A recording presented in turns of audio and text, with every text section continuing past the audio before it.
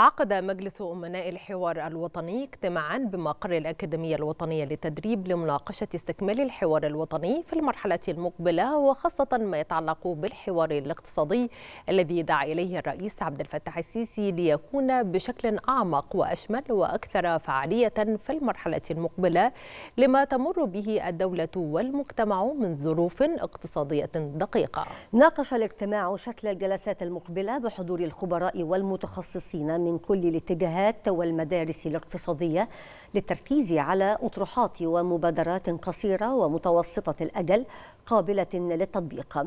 وتقرر كذلك أن يستمر الحوار في عقد جلساته لمناقشة القضايا التي لم يتم الانتهاء منها في المرحلة السابقة بالتوازي مع جلسات الحوار الاقتصادي وتحديد جلسات قريبة لتشريعات الحبس الاحتياطي والحبس في قضايا النشر والإبداع.